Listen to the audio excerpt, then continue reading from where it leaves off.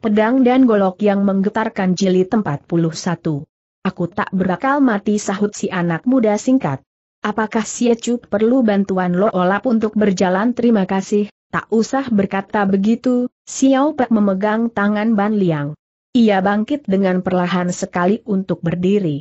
Di manakah letak penjara itu ia bertanya, tolong antarkan kami, Suke memutar tubuhnya. Silahkan Siecu turut kami, katanya, penjara itu berada di dalam ruangan Kesiaih, Xiao beramai mengikuti kedua pendeta itu. Sui berjalan paling belakang. Mereka melintasi dua buah halaman dalam, baru mereka tiba di ruang Kesiaih. Di muka pintu terlihat papan mereknya yang berhuruf besar dan diberi warnai remas. Di sini Suke mendahului bertindak memasuki pintu, untuk menuju ke bagian belakang. Itulah dia rumah batu berkata ia sambil menunjuk sebuah bangunan. Itulah penjara batu dari kuil kami, Xiao Pek mengawasi tajam, terus ia memandang Suke. Aku mohon bantuan Taisu katanya. Asal yang lo olap sanggup, Chu, Selama kami berdiam di dalam rumah batu ini, kami minta Taiso tolong menyediakan keperluan bersantap dan minum kami, jangan khawatir, Chu.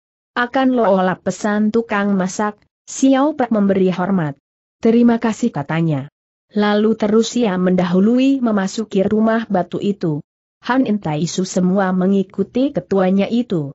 Suke menutup pintu, lalu ia menekan pesawat di bagian luarnya, maka jatuhlah sebuah batu besar menghadang di muka pintu itu. Keras suara jatuhnya batu itu. Di dalam kamar, Xiao Pei melihat ke sekitarnya. Kecuali daun pintu, semua dinding terdiri dari batu hijau. Sekarang baik-baiklah kita beristirahat berkata Soat Kun. Semua orang kemudian memilih tempat untuk duduk bersemadi. Sesudah lelah habis bertempur, inilah kesempatan untuk memelihara diri cuma Honen seorang yang tak terganggu keletihan, karena tenaga dalamnya telah mencapai puncak kemahiran. Berselang kira-kira satu jam, Xiao Pe yang sadar paling dahulu. Ia memandang ke seluruh ruang. Ban Liang orang yang kedua yang menyusul tersadarnya ketuanya itu. Menurut kata Nona Hoan jago tua itu kata pada si anak muda, suaranya sangat perlahan, Bang Chu telah bertaruh dengan para tiang loko dan telah kalah. Benarkah itu benar sahut Xiao Pek, selang sedetik. Tian Kiam dan Patu menjadi ilmu silat yang luar biasa istimewa, mungkinkah pendeta-pendeta dari Xiao Lim Xie dapat memecahkannya tanya pula si jago tua. Pertanyaan itu menyulitkan Xiao Pek. Ia berdusta untuk menolong MUK Xiao Lim Xie. Kalau ia mengiyakan Ban Liang, ia membuka rahasia, percuma ia berpura-pura. Kalau ia menyangkal, tak puas ia terhadap dirinya sendiri. Di lain pihak, ia mau menerka, kecuali Sukei, juga Suhong tentulah sudah bercuriga atau mencurigai kekalahannya itu. Dan yang terutama, ia malu sekali kalau ia meruntuhkan nama besar Kietong dan Xiang Gao, kedua gurunya itu. Tengah anak muda ini bersangsi, ia mendengar suara berkelotek pada pintu. Segera ia mengangkat kepala, di situ ia mendapatkan lubang kecil persegi. Ia segera mendengar suara Suke Tai Susiecu sekalian, inilah barang santapan Lo Olap sendiri yang memiliki koki memasaknya dan Lo Olap juga sudah mencicipinya. Silahkan makan, jangan khawatir apa-apa, terima kasih berkata Xiao Pek, yang terus ingat Chiu Cheng, maka segera ia berkata, Taisu, ada satu urusan buat mana aku mohon pertolonganmu, apakah itu, Chu di antara kawanku ada seorang bertubuh besar yang telah terkena racun. Dia berjanggut bajunya kuning, romanya gagah, karena terkena racun, dia tak sadarkan diri, tetapi dia belum putus jiwa. Kalau bisa, aku mengharap bantuan Taisu melihat dan menolongnya, tentang itu, Lo Olap tidak tahu, sahut Suki. Nanti Lo Olap cari tahu dahulu, baru Lo Olap akan memberi kabar, terima kasih Tai Xiao mengucap pula. Ia menyambut barang makanan itu, untuk terus bersantap bersama-sama. Suke baru berlalu sesudah orang makan cukup dan ia membawa pergi sisanya. Ia menutup pula liang di pintu itu, yang berupa seperti jendela. Sebagai seorang berpengalaman, Ban Liang bisa melihat sikap Sukei itu. Maka ia berkata pada ketuanya, Xiao Lim Xie itu memperhatikan keperluan kita, mungkin ada sebabnya, mendengar kata-kata jago tua itu Xiao Pak berkata di dalam hatinya. Aku mengalah, aku berbuat baik terhadap kesembilan tiang lo, mungkin kebanyakan dari mereka itu telah mengerti duduk halnya, Ban Liang tidak memperoleh jawaban, ia berkata seorang diri, Pendeta-pendeta dari Xiao Lim Xie ini lihai akan tetapi aku sangsi mereka dapat bertahan dari golok patu dari Selangko, walaupun dalam satu gebrak saja atau paling sedikitnya mesti ada beberapa di antaranya yang terbinasa dan terluka, Xiao Pek menguasai dirinya, ia tidak menjawab. Ban Liang batuk-batuk perlahan, terus dia berkata pada Han In Taisu Taisu, kalau di antara beberapa tiang Lok Xiao Lim Xie itu ada satu saja yang terbinasakan Tian Kiam atau Patu, tak nanti mereka perlakukan kita begini baik, Ketua Go BYP itu cuma tersenyum, dia tidak menjawab. Han Intaisu bercacat kaki dan muka, Romen mukanya tak sedap untuk dipandang, bahkan suaranya juga tidak merdu, akan tetapi sesudah orang berkumpul sekian lama dengannya dan mengetahui sifatnya, semua orang menyukai dan menghargainya. Semua orang berkesan baik terhadapnya. Soat Kun mendengarkan pembicaraan itu, atau lebih benar pembicaraan Ban Liang seorang diri, dan Xiao Pek terus tidak menjawab, ia mengerti si anak muda berada di dalam kesulitan, maka itu, ia segera memperdengarkan suaranya, Xiao Lim Xie berlaku baik pada kita mungkin disebabkan mereka menghormati kegagahan kita serta kepandaian Beng Chu. Di dalam pertempuran di dalam ruang hutko itu walaupun Beng Chu kalah tetapi dia kalah dengan terhormat. Nona, sudikah kau menuturkan kepadaku jalannya pertempuran itu tanya Ban Liang, yang hatinya tetap penasaran.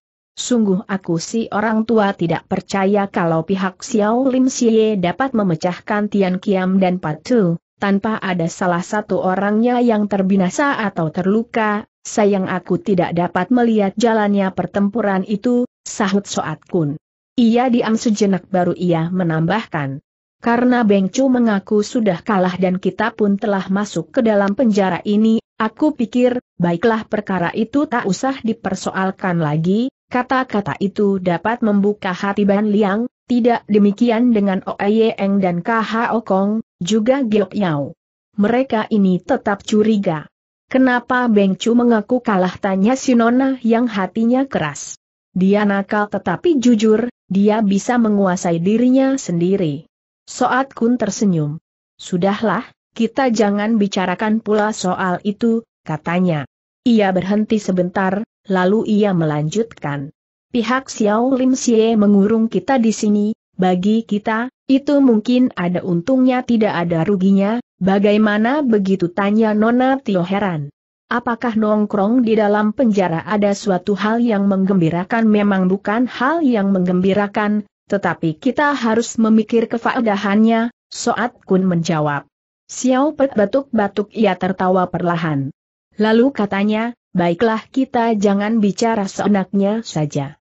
Penjara ini tempat Xiao Lim Xie mengurung murid-muridnya yang bersalah. Siapa tahu kalau di dalam sini dipasang juga pesawat rahasia, untuk mendengarkan pembicaraan orang dua tahanan? Baiklah kita membatasi diri, itu benar berkata Giok Yao keras. Nah mari kita periksa ia pun segera berlompat bangun, untuk lompat ke sebuah pojok. Xiao Pe tersenyum. Tak usahlah kita periksa katanya. Kita membatasi diri saja, mendengar kata-kata si ketua, Han Intaisu mengawasi muka orang. Ia kagum terhadap anak muda ini, yang hatinya terbuka sebab di dalam kurungan dia tetap gembira.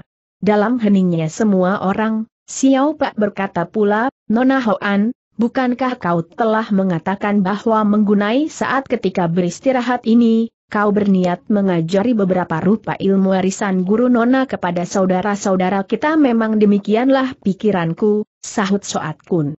Kesempatan sebagai ini jarang terdapat, kenapa Nona tidak mau mengajari kepada kami kata pula si anak muda, yang mendesak secara halus. Bang Chu benar, sahut si Nona. KH Okong terbangun alisnya. Benarkah Nona hendak mengajarkan ilmu kepada kami tanyanya? Dia bagaikan menagih. Nona Hoan tersenyum, dia mengangguk. Katanya, siapa menanyakan ilmu, ada yang datang lebih dahulu, ada yang datang belakangan segalanya terserah kepada ketekunan saja. Dan ilmuku ini, tanpa menanti orang bicara habis, Oye Eng sudah melompat bangun, dia terus memberi hormat kepada si Nona Seraya berkata, Nona jangan sungkan, marilah Oye Eng mohon petunjukmu tak dapat kau sendiri, saudaraku seru KH Okong yang juga lompat berjingkrak. Dia memang tak sabaran. Nona Hoan tertawa. Siapa belakangan, siapa duluan, sama saja katanya sabar. Ia tunduk berpikir, kemudian ia berkata pula aku mempunyai dua jurus ilmu pedang. Mari aku ajari dahulu Ayeh Hoat, silahkan bersabarlah sebentar Kong menurut, akan tetapi di dalam hatinya ia berkata ah, cuma dua jurus terlalu sedikit terus ia pergi ke pojok untuk duduk bersila. Soat kun bangkit. Oh Ayeh Hoat, tolong pinjamkan pedangmu bintanya. Oye Eng menghunus pedangnya, dengan ketua belah tangannya, ia mengangsurkan. Ia berlaku hormat walaupun si Nona tak melihatnya Nona Hoan menyambuti pedang sambil terus berkata, namanya saja ilmu pedangku dua jurus sebenarnya cuma satu. Bedanya ialah selain dapat maju menyerang dan mundur menjaga, di antaranya terdapat perubahannya, mendengar itu perhatian Oye Eng jadi semakin tertarik.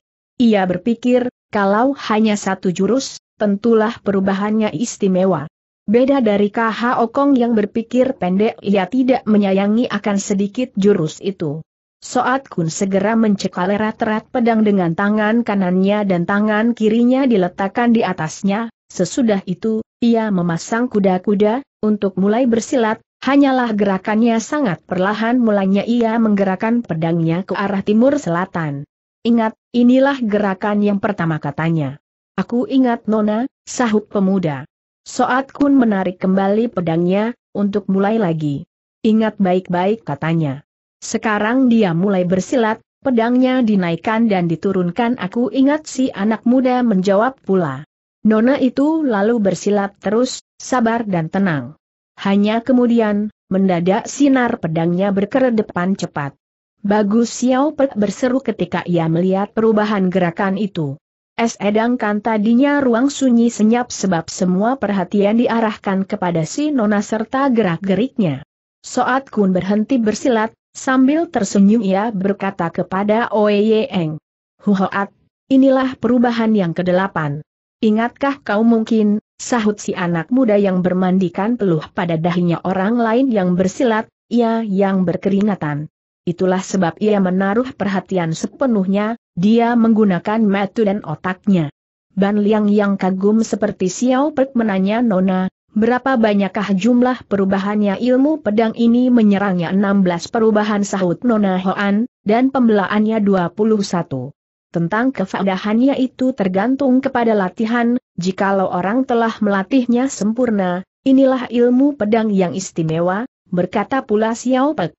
Penyerangannya hebat, pembelaannya kokoh kuat, Soat Kun tersenyum. Nona, berkata Oye Eng, aku hendak mulai berlatih, aku khawatir aku nanti lupa, kembali si Nona tersenyum. Ia mengangsurkan pedang di tangannya. Terima kasih Nona berkata Oye Eng yang menyambut dengan hormat, seperti tadi di waktu menyerahkannya. Soat Kun lalu mundur, maka anak muda itu terus menggantikannya. Oye Eng bergerak dengan perlahan, sebab ia sambil mengingat-ingat, meski begitu di waktu menikam, menabas atau menangkis, ia menggunakan tenaganya, hingga pedangnya itu memperdengarkan hembusan anginnya. Nona Hoan mengawasi murid itu dengan bantuan telinga serta kisikan soat gie. Dari hembusan angin ia bisa tahu gerakan keliru atau kurang tepat. Maka itu, Beberapa kali ia memberitahukan si anak muda di mana kekeliruannya. Dengan banyak susah, dengan meminta waktu, akhirnya Oye Eng bisa juga menjalankan delapan perubahan itu dengan baik, hingga hatinya menjadi lega. Nona Hoan puas, katanya kau belajar cukup cepat. Oye Hoat. Selanjutnya, itu bergantung kepada latihanmu banyak terima kasih, Nona si anak muda mengucap pula. Apakah ilmu pedang ini ada namanya ada, nama lengkapnya adalah Hang Lui Et Kiam, sahut si Nona. Penyerangannya disebut Lui Tiam Kau Ki dan pembelaannya Hang In Suhap, sampai di situ, KH Okong mengajukan diri. Nona, sekaranglah giliranku katanya sambil ia mengunjukkan hormat.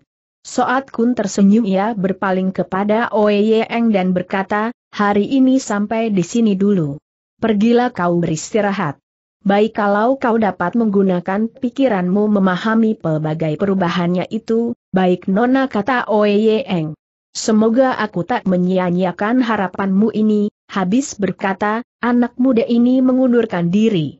Nona, berkata KH Okong, senjataku ialah sepasang poan keanpit, apakah Nona dapat mengajari aku sesuatu yang hebat Ban yang tersenyum ia anggap si Semibrono jenaka. Nona Hoan sudah mengizinkanmu, mustahil ia akan menarik kembali kata-katanya katanya. Kenapa kau begini tak sabaran? Biarkanlah Nona Hoan beristirahat dahulu KH Okong tertawa. Lo Ciam benar katanya. Maka ia mundur pula, untuk duduk kembali. Xiao Pak menoleh kepada Oye Eng ia mendapatkan anak muda itu duduk diam, matanya dipejamkan tetapi mulutnya kemak-kemik, sedangkan dahinya penuh peluh. Teranglah pemuda itu tengah mengingat-ingat ilmu silatnya yang baru itu. Nona, berkata ketua ini perlahan. Ya Beng Chu, ada apakah titahmu si Nona menyahut, perlahan juga. Hang Lui It Kiam bagus sekali Nona, dan tak kalah dari Tai Pai Kiam Hoat, kata ketua itu. Guru Nona lihai luar biasa, sayang ia tak panjang usianya, coba ia masih hidup, Mestinya dialah orang gagah yang utama Beng Chu memuji terlalu tinggi, kata Sinona merendah. Memang kepandaian guruku tak kecewa, tetapi suhu sendiri pernah mengatakan kepadaku bahwa bakatnya ada batasnya, hingga ia tak dapat maju lebih jauh, tapi Nona telah mewarisi dengan baik sekali, Nona dapat melanjutkan cita-citanya, sehingga tak usahlah guru Nona merasa kecewa, tapi Nona itu menggeleng kepala. Sayang kami pun tidak dapat berbuat apa-apa, katanya pula. Kami mempunyai cacat sendiri-sendiri, tak usah menyesal atau kecewa, Nona. Sejak dahulu tak kurang orang pandai yang bercacat juga, Bang Chu benar akan tetapi keadaan kami lain memang pernah suhu mengajari kami ilmu silat, tetapi kemudian, ia tukar itu dengan ilmu surat, tentang pengobatan dan siasat perang. Kalau toh kadang-kadang kami bersilat juga, suhu tidak mencegah. Inilah sebab ilmu silat kami sangat terbatas. Suhu pernah menghiburi agar kami tidak kecewa. Katanya, langit itu ada waktunya jernih dan suram, dan rembulan ada bundarnya ada sisirnya.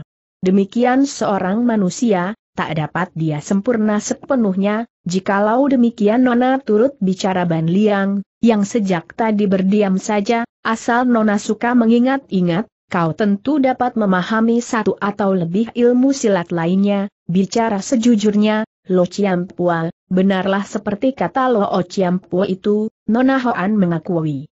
Kelemahanku ialah aku tidak dapat ingat lagi semua ajaran suhu kecuali kalau aku punya waktu untuk memikirkannya, apakah Hang Lui Et Kiam itu baru saja teringat tanya Xiao Pek.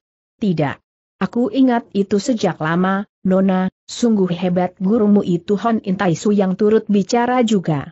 Dengan demikian, dialah ahli surat yang juga ahli silat yang lihai memang benar demikian, Taisu Suhu pun pernah merundingkan tentang Tian Kiam dan Patu, apakah kata gurumu itu, Nona Suhu berkata dua-dua kepandaian itu lihai, hanyalah cacat Tai Pai Kiam Hoat terlalu lunak lemah mirip hati wanita, inilah benar, pikir Xiao Pek. Tian Kiam dapat melayani lawan sedikit atau banyak tetapi sulit memutuskannya, dan Patu, si Nona meneruskan. Suhu bilang itu terlalu keras, andai kata ada orang yang dapat berkelit dari serangannya, mungkin serangan pembalasannya tak dapat ditangkis lagi atau dilakan, ah, inilah lain, pikir si anak muda, belum pernah aku mengalami kegagalan Patu, lalu ia utarakan kesangsiannya itu. Bagaimana dengan pandangan Beng Chu? Tanya si Nona. Patu hebat dan tak memungkinkan orang menentangnya, ada kemungkinannya, Beng Chu. Suhu pernah membicarakan kemungkinan itu, benarkah itu Nona? Kalau Beng Chu tidak percaya, Suhu pernah mengajari aku bagaimana harus melawannya, kalau begitu, bagaimana andai kata aku ingin mengetahuinya? Xiao Pek jadi tertarik hati, ia bangkit. Benar Nona ingin mencoba Soat Kun bangkit perlahan-lahan, ia pun tersenyum. Kepandaianku sangat terbatas, harap Beng Chu menaruh belas kasihan, katanya. Segera setelah ia berlari dan mengucapkan kata-katanya itu, Xiao Pek menyesal. Kenapa ia mau melayani si Nona, ahli pemikir dan penunjangnya itu? Sekarang sudah terlanjur. Ban Liang, Oye Eng dan KH Okong pun tertarik perhatiannya tetapi berbareng khawatir, mereka pernah menyaksikan sendiri keampuhan patu dari Xiang Go itu, asal golok dihunus dan dipakai menyerang, pasti lawan terbinasa harap Beng Chu tak bersungguh-sungguh, akhirnya si jago tua bilang. Xiao Pek mengangguk kepada jago tua itu, terus ia mencekal gagang goloknya. Nona, berhati-hatilah pesannya. Soat Kun mengangguk. Kalau tadinya tangan kanannya selalu berada di bahu adiknya, sekarang ia menolak tubuh adiknya, ia berdiri seorang dirilah mengangkat dan merangkap kedua belah tangannya seraya berkata, silahkan mulai, Bang semua mata segera diarahkan kepada tangan ketua mereka. Mata Hon Intaisu tidak terkecuali. Seingatnya, belum pernah ia mendengar Xiang Go gagal dengan goloknya. Mau atau tidak, ia khawatir buat Nona Hoan sedetik itu, sunyi senyaplah penjara batu itu. Sampai sekian lama unut kerannya banyak orang itu Xiao Pek tak menggerakkan tangannya ia mencekal gagang golok, tetapi tangan itu berdiam, seperti tak bergemingnya tubuhnya. Beng Chu tanya Soat Kun kenapa Beng Chu belum menghunus golokmu ketua itu menghela napas perlahan jikalau aku berkata Nona, mungkin kau tidak percaya, sahutnya. Kenapakah Beng Chu rasanya aku tak berdaya menghunus golokku ini, si Nona berpikir. Mungkinkah Beng Chu khawatir melukai aku bukan, bukannya begitu pikiranku, nah, Cobalah Beng Chu pikirkan, apakah sebabnya itu? Mungkin di sinilah terselip atau terbenam kemurniannya ilmu silat Siang Lo Chiam Pua. Sekarang ini Nona Xiao Pek mengakui, aku bagaikan dianjurkan desakan gelombang untuk menghunus golokku ini, akan tetapi selagi aku memandang Nona, tak ada dayaku untuk menghunusnya, Soat Kun berdiam, lalu dia mengangguk. Baiklah kalau begitu, katanya kemudian. Sekarang tak usah kita lanjutkan percobaan kita ini, maka semua orang lalu pada duduk pula. Setiap orang memikir, tetapi tak ada yang membuka mulut. P ada pihak pria, semua mengagumi si Nona, yang bagaikan mempunyai pengaruh luar biasa. Satu hal diingat Xiao Pek, ketika dahulu ia diajari ilmu goloknya itu, Xiang membuatnya bersemangat dan gusar, gusar seperti ia tengah menghadapi musuh besar atau orang jahat, sedangkan kalau ia tidak berkobar-kobar kemurkaannya, tak dapat ia menggunakan senjatanya yang luar biasa itu. Sinona bukan musuh, juga bukan orang jahat, bahkan dialah seorang mana lemah lembut, inilah kemungkinan yang menyebabkan ia tak sanggup, tak mampu untuk turun tangan. Semua orang duduk mengitari kedua nona Hoa Nona, dapatkah kita berbicara kemudian Xiao Pek bertanya ia berpikir keras, ia merasa heran, maka akhirnya tak sanggup ia berdiam saja terus-terusan. Dalam hal apakah, Beng Chu tanya si Nona. Apakah Beng Chu heran aku yang lemah hendak mencoba patu? Adakah Beng Chu menerka sesuatu benar Nona?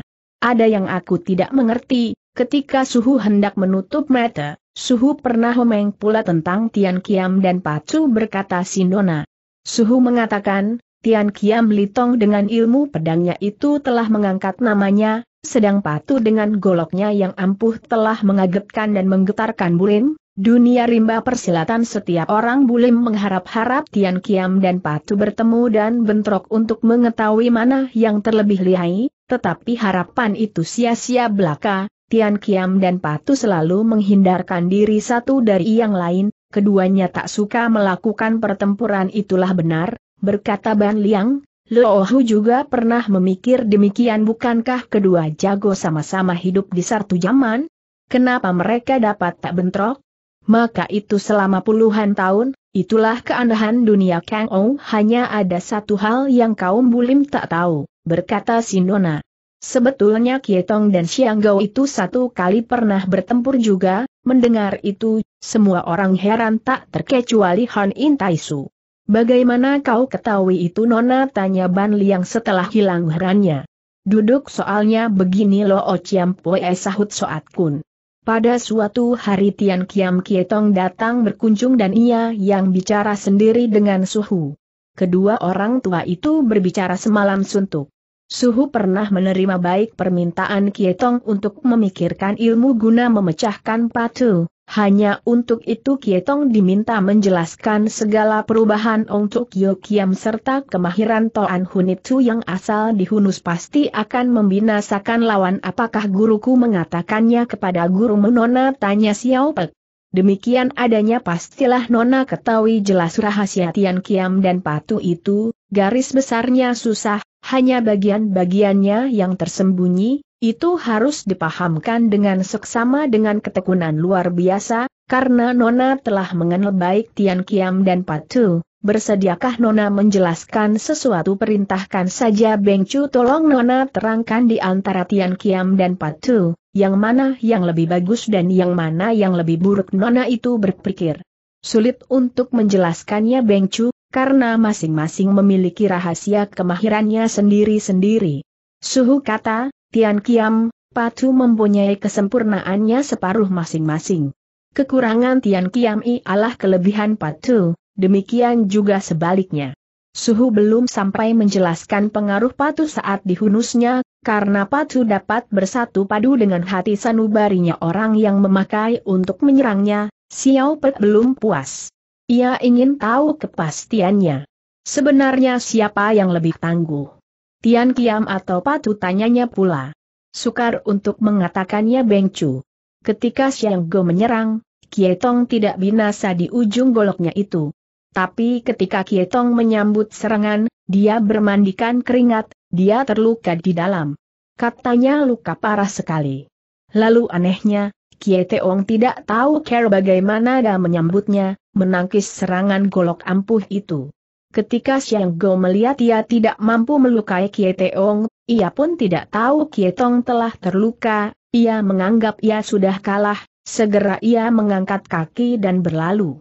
Nah, dalam pertandingan itu, siapakah yang menang dan siapakah yang kalah? Xiao Pek tercengang, melihat duduknya kejadian, Nona Patu adalah yang lebih unggul, jadinya menurut kalian Patu lebih lihai daripada Tian Kiam? Tanya si Nona. Demikianlah juga pendapat Lokohu Ban Liang turut bicara. Mungkin kalian melupakan satu hal, berkata Sinona, serangan pacu biasa dengan satu jurus. Dengan satu jurus, Kietong tidak terlukakan, jangan kata terbinasakan itu artinya Xiang Gao sudah menggunakan seluruh tenaganya, toh ia tidak berhasil. Mengenai ini, aku mempunyai pendapatku. Bukankah kita cuma tahu Kietong terluka? Tapi bagaimana dengan Xianggo? Kenapa dia habis menyerang? Karena kegagalannya itu lalu kabur pergi? Apakah sebabnya? Aku melihat dua alasan, Xiao Pek semua mengawasi nona itu. Aku menerka satu di antara dua, pertama-tama mungkin Xianggo telah mendapat luka dalam tubuh yang melebihi parahnya luka Kietong, dan yang kedua tentunya Xiang Gao menganggap Kietong mempunyai kemampuan mengalahkan goloknya, dari itu dia buru-buru mengangkat kaki, Ban Liang mengangguk. Pandanganmu luas nona ia mengakui. Soat Kun berkata lebih jauh. Menurut suhu Ong Tuk Yo Kiam tentu mempunyai salah satu jurus yang dapat memecahkan Toan Hun itu, atau sedikitnya yang dapat merintanginya. Hanya tentang itu, Kietong sendiri tidak mengetahuinya apa Ang Kietong lakukan, selama bertanding itu, ia cuma membela dirinya, Lalu tanpa merasa ia telah menggunakan jurusnya yang paling lihai itu memusnahkan serangan maut dari Patu, itulah mungkin Nona.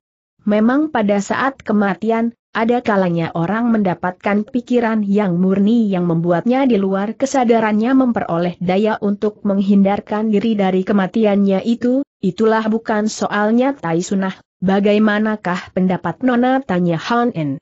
Suhu pernah merundingkan soal ini, Kietong sangat menghargai Suhu, setelah pembicaraan semalaman suntuk itu, kekagumannya terhadap Suhu meluap-luap maka dengan jelas ia menuturkan tentang segalanya mengenai ilmu pedangnya itu.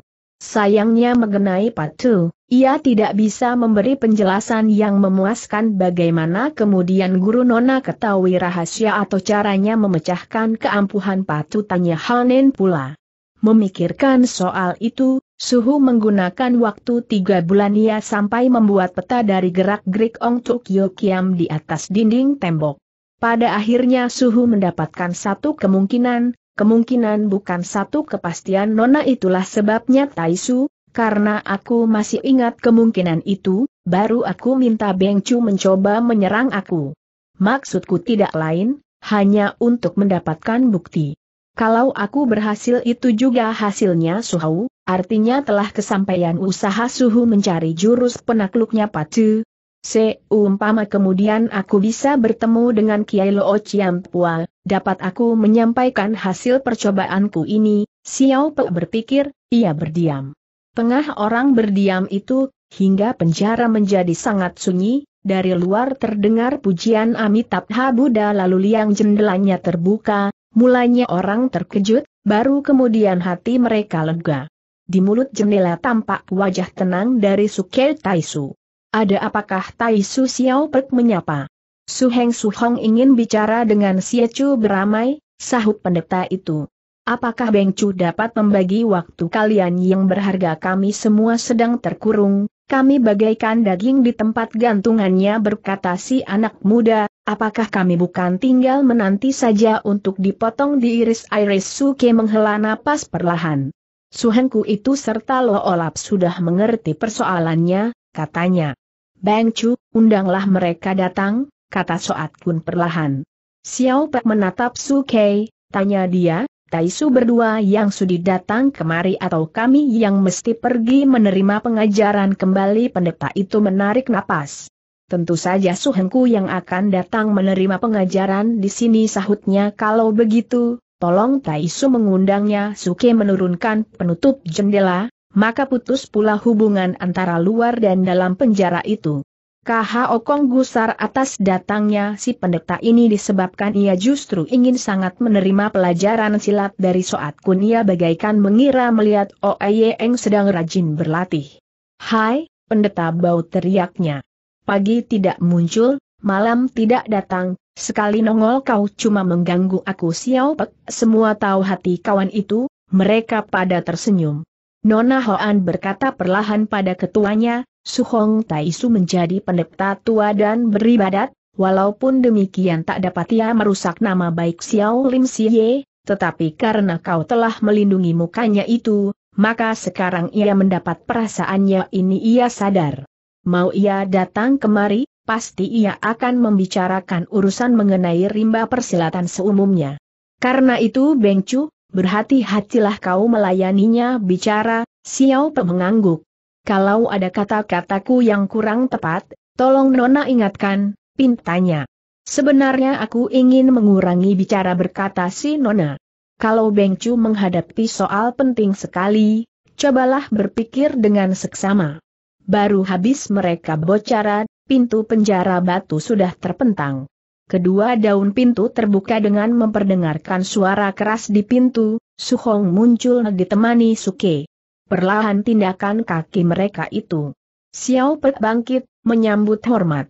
Tai Su berdua silahkan duduk undangnya. Suhong membalas hormat.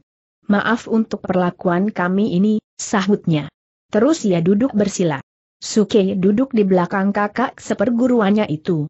Xiao Pek mengawasi pendeta tua itu, ia mau bicara tapi batal ia sangsi akan mengucapkan apa. Dengan begitu, kedua belah pihak berdiam saja sekian lama. Akhirnya Su Hong yang mulai membuka mulut.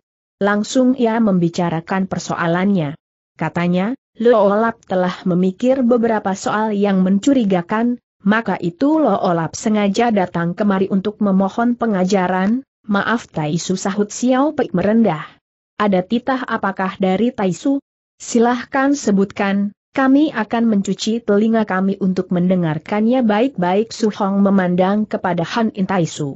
Taisu ini, katanya. Xiao Pek menyela pendeta ini inilah Hon In Taisu ketua terdahulu dari Go BYP terperanjat ketua Tiang Loko dari Xiao Lim Xie itu, hingga dia mementang lebar-lebar kedua matanya menatap ketua Go BYP itu. Memang dia bermata tajam, maka juga matanya itu bercahaya terang. Sampai lama dia masih mengawasi. Han Intaisu pun berdiam saja ia duduk tenang sejak tibanya pendeta dari Xiao Lim Xie itulah tak memperdulikan kata-kata Xiao Pek dan tak menghiraukan sikap Tiang Lo. Xiao Pek heran, hingga ia habis sabar. Taisu tegurnya, apakah Taisu tak percaya aku Su Hong tidak memperdulikan ketua Kim Tubun itu, orang yang dia datangi untuk diajak bicara, terus dia menatap Han In Taisu mengawasi tajam mukanya. Hanya sejenak kemudian, mendadak ia meluncurkan sebelah tangannya ke arah ketua Go BYP itu, melakukan pukulan angin ke dada orang sebagai ketua Xiao Lim Xie, dapat dimengerti betapa lihai pendeta ini, maka itu dapat dimengerti pula hebatnya serangan mendadak itu. Tapi luar biasa juga Hang Intaisu, dia duduk bersilat tenang-tenang saja, membiarkan serangan tak diduga-duga itu. Pukulan Loolap ini ialah yang dinamakan Hui Po Atong Chiong, berkata Su Hong. Baru sekarang dia bicara pula. Hui Po Atong Chiong berarti cecer terbang menghajar genta, mendengar keterangan itu, dengan sabar Han Intaisu menjawab, Loolap ingat beberapa puluh tahun yang lampau pernah Loolap menggunakan jurus Hwel Aliong Tiam Cheng untuk memecahkannya Su Hong tetap belum mau percaya. Katanya peristiwa itu saja belum cukup untuk membuktikan tentang dirimu dengan sabar Han In menjawab. Taisu boleh tak percaya.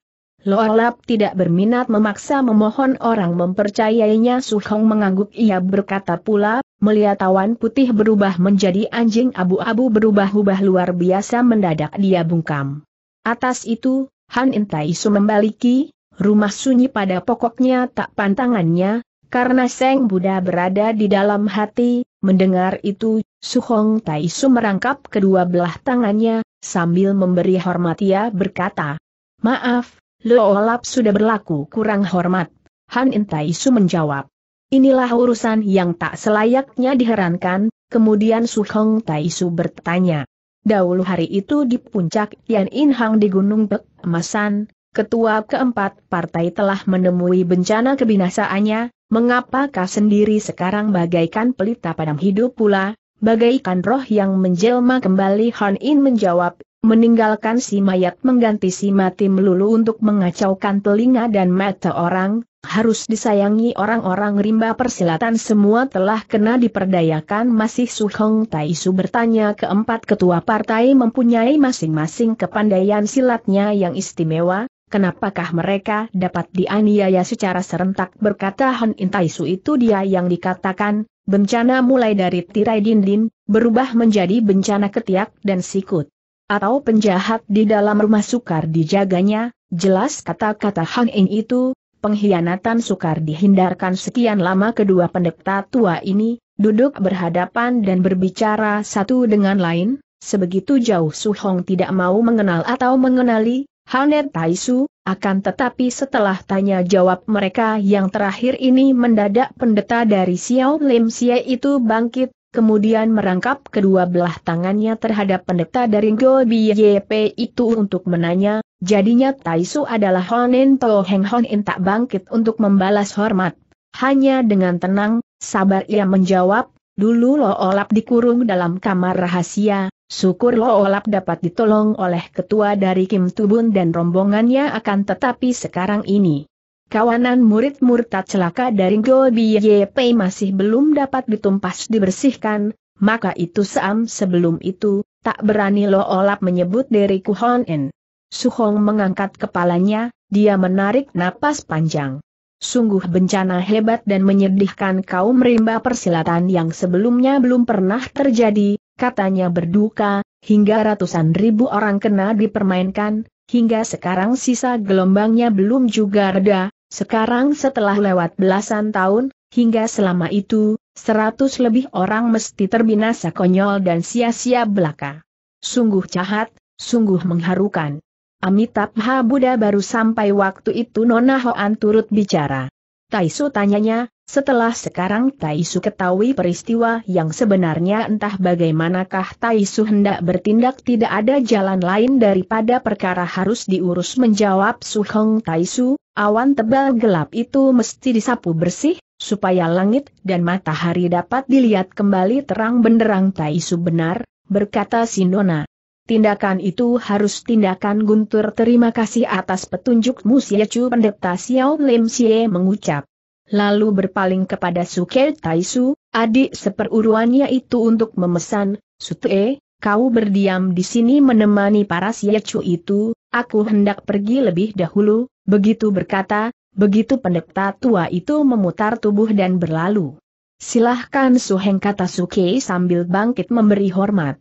Lalu selekasnya kakak seperguruannya itu sudah tak nampak bayangannya lagi, ia menolak daun pintu penjara, kemudian menoleh kepada Choh Xiao Pek seraya berseru Choh Beng Chu, ya Taisu ada perintah apakah Xiao Pek? Tanya.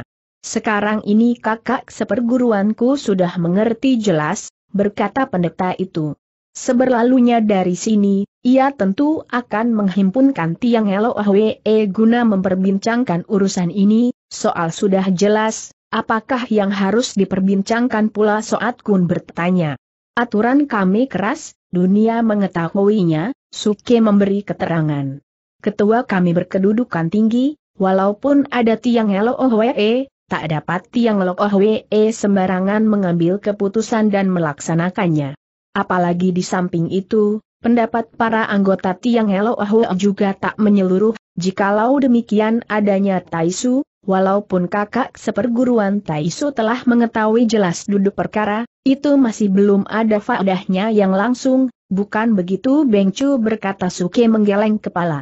Suheng Suhong itu bukan saja dihormati Tiang Elo Ohwe, juga semua anggota partai kami sangat menghargainya, cuma karena urusan ini besar luar biasa, ia harus bertindak sabar, terutama untuk terlebih dulu membuat para tiang loko sadar dan berpihak kepadanya, menurut Taisu, apakah suheng kalian itu akan berhasil dengan usahanya ini tanya si Nona Hoan mudah-mudahan Nona. Hanya ini bukanlah kerjaan dari setengah hari saja, jikalau seorang enghlong sejati, putusan getas, Berkata pula Nona Hoan di mana sekarang perkara sudah sangat jelas, apa perlunya akan menggoyang dan menggoyangkan lidah lagi dengan menghlong, orang gagah di sini soat kun artikan laki-laki sejati. Di dalam tiang Elo Ahwe Nona, ada beberapa tiang Loko yang menghargai nama baik Xiao Lim Xie secara luar biasa sekali Suke menjelaskan pula ia bicara dengan sangat perlahan dan mendadak ia menghentikan kata-katanya itu. Nona Hoan menghela napas. Taisu telah tiba saatnya Utnuk Taisu mengundurkan diri, katanya. Perlu Taisu pergi membantu kakak seperguruanmu itu, mendengar kata-kata si Nona, tak ada lagi orang Kim Tubun yang membuka suara, walaupun sebenarnya masih ada beberapa hal yang ingin ditanyakan. Suke mengangguk. Para Siacu, beristirahatlah dengan tenang, katanya. Di dalam tempo dua hari pasti Lola akan menyampaikan kabar baik kepada Siecu semua habis berkata, ia memberi hormat. Terus ia berlalu. HMMKH Okong memperdengarkan suara di hidungnya. Kenapa sih pendeta ini bicara ayalan orang bulim siapa yang tidak menghargai nama?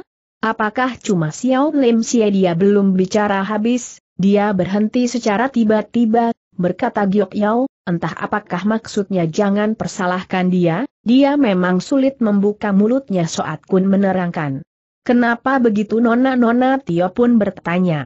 Tadi dia menyebut bahwa di antara Tiang Lo ada beberapa yang sangat menghargai nama partainya berkata Soat Kun.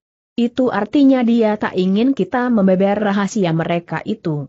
Sebenarnya Xiao Lim Xie terancam keruntuhan dan itu harus dapat dicegah, Katanya Tiang Elo Ahwe terdiri dari pendeta yang berusia lanjut, beribadat dan bijaksana kata KH Okong pula. Tetapi kenapa kini sulit mengambil keputusan?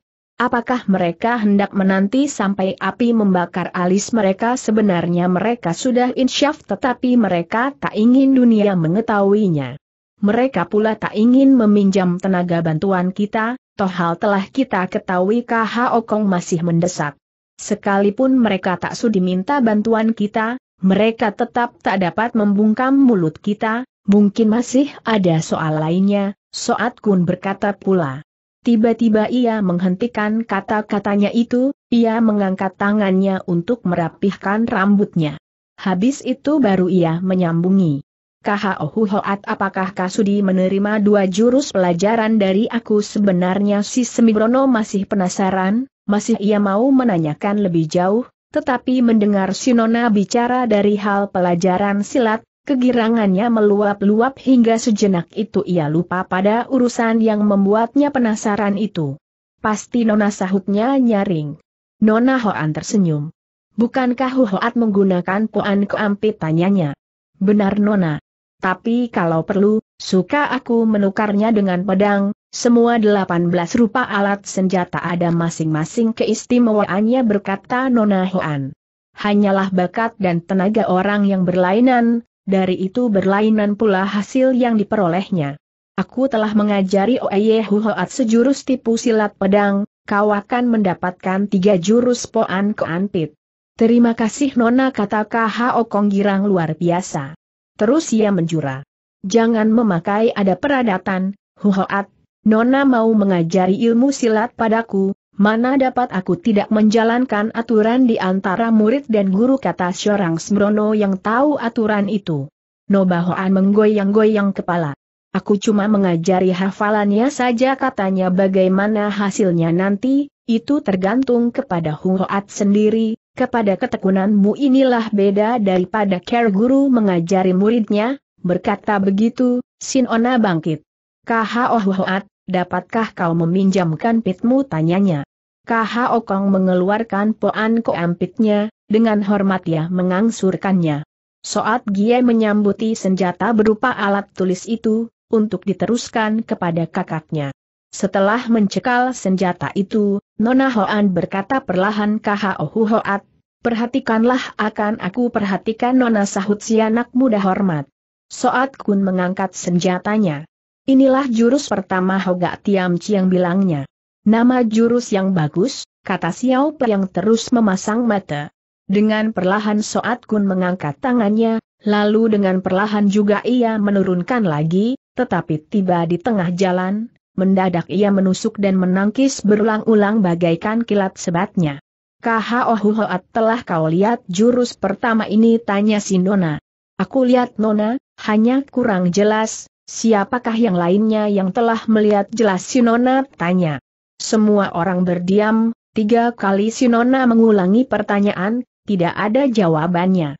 Maka ia tanya Hanen, apakah Taisu melihatnya gerakan Siechu cepat luar biasa, Loola pun belum melihat tegas sahut ketua Go BYP itu. Sayang kami terbatas bakatnya, tak dapat kami mempelajari silat hingga sempurna berkata Sinona. Maka itu walaupun suhu lihai tapi kami tidak dapat menuruninya, Kenapa si Yechu berkata begitu? Tanya Hanen bukankah jurus tadi lihai sekali? Itulah sebab tenagaku kurang dan aku tak dapat melukai orang Sinona Akui. Aku menyesal berkata Ban Liang, aku bersahabat kekal dengan gurumu Nona, tetapi aku tidak tahu ia selihai ini, kalau tidak aku pasti sudah minta ia suka mengajari aku barang beberapa jurus, tentang itu, suhu pun pernah omong kepadaku Lo Ociampu berkata Sinona. Kalau Lo Chiampoe menyetujui dapat aku mewarisi barang satu atau dua jurus, jago tua itu menghela napas. Dalam usiaku ini, nona katanya Mas Gol. Lohu adalah umpama lilin yang sisa apinya tinggal padamnya saja, jadi tak usahlah nona mewariskan kepandaian sahabatku itu kepadaku, tidak demikian dengan beberapa pemuda ini. Harap Nona mewarisi kepada mereka agar tak sia-sialah kepandaiannya sahabatku itu, supaya kepandaiannya itu tak hilang terpendam Soat Kun mengangguk. Lo Chiampoe katanya. Jikalau Lo Chiampoe merasakan sesuatu yang kurang sehat, tolonglah beritahukan kepadaku. Mengenai ilmu pengobatan, guruku telah ada keyakinannya yang mendalam. Tak dapat suhu mengatakan ia bisa menghidupkan pula orang yang telah mati, akan tetapi sedikitnya ia dapat mendayakan untuk mencegahnya, buat membantu memperpanjang umur. Berkat warisan suhu itu, aku mengerti juga sedikit.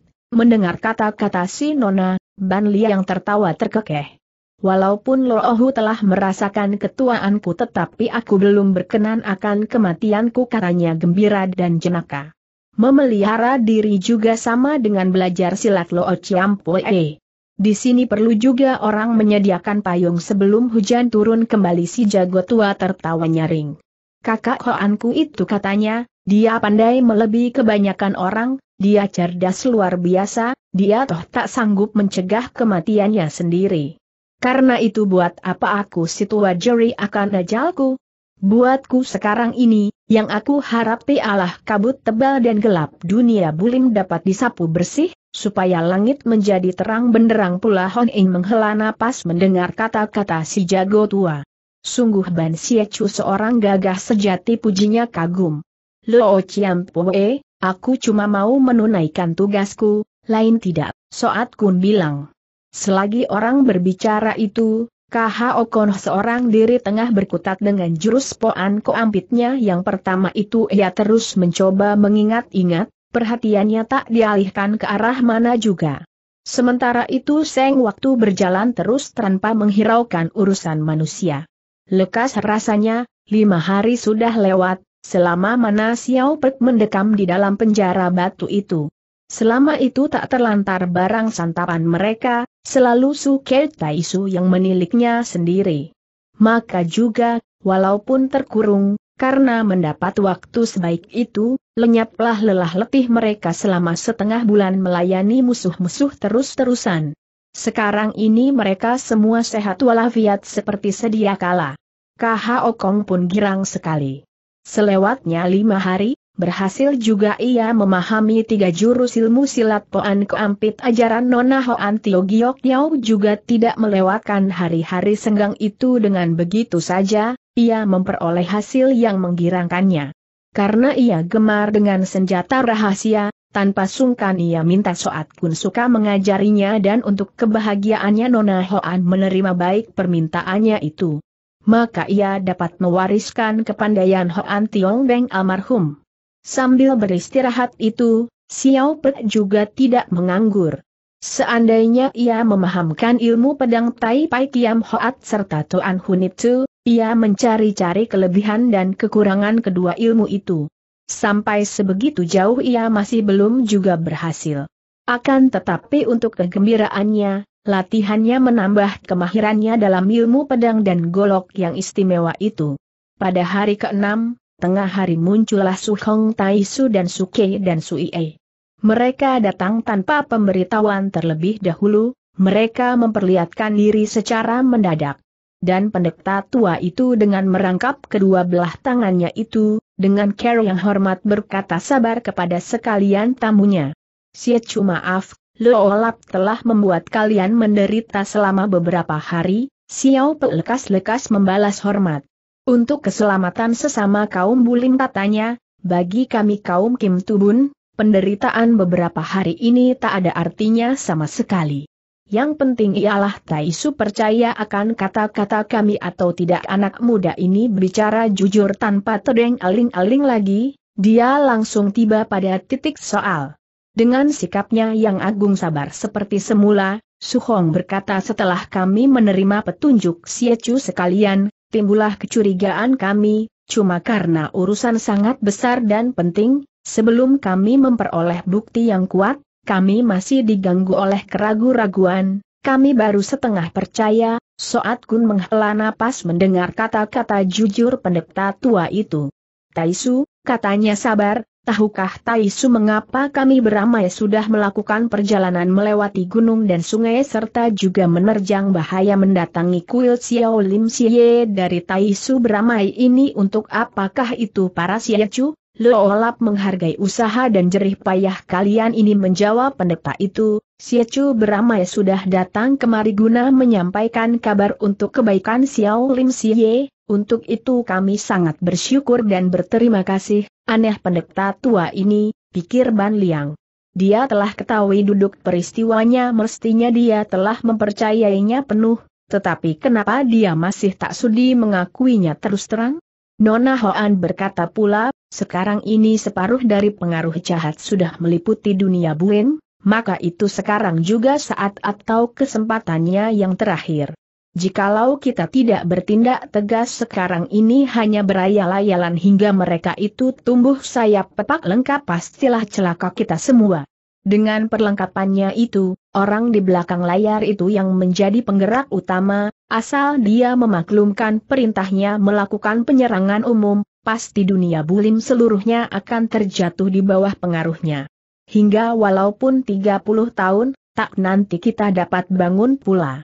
Dan partai kamu yang mulia Taisu, yang biasa memegang tampuk pimpinan, kali ini kami harap semoga dapat bertindak pula, supaya dunia Kang Ou disadarkan agar pengaruh iblis dapat ditumpas habis mendengar suara Sinona, Suke menghela napas panjang. Go Kue Toan Hun Chiu Ban Liang pun turut bicara.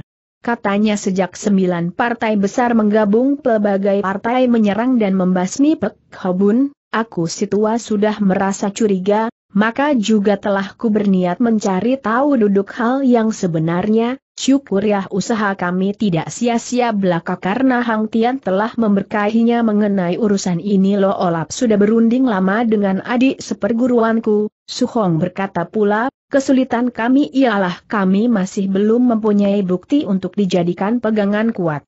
Sekarang setelah para Siechu tiba di sini, untuk mendapat kepastian, sudikah para Siechu datang ke ruang Taijak E kami untuk berunding lebih jauh bersama kami, Xiao Pek menerima baik undangan itu saat Kun ingat akan Chiu Cheng, ia lalu bertanya kalau-kalau kawannya itu yang menjadi kurban racun masih hidup atau sudah meninggal dunia.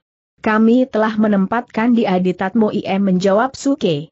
Kami telah memberikan dia obat tetapi hasilnya tidak ada, obat kami bagaikan tenggelam lenyap di dalam laut besar, jikalau obatnya tidak tepat, memang tidak dapat dia ditolong, kata Nona Hoan. Apakah Nona dapat menolong dia Suke tanya. Aku tidak dapat menolong dia, tetapi aku ketahui caranya, menyahut si Nona. Dia sebenarnya ada sangkut paut dengan ketua kalian. Nona, apakah Nona telah ketahui si pemimpin yang masih menjadi orang rahasia itu Suke menanya menegasi. Aku tidak tahu, menjawab si Nona. Nah, mari kita berangkat dengan berpegangan pada adiknya, Nona ini segera membuka langkah kakinya.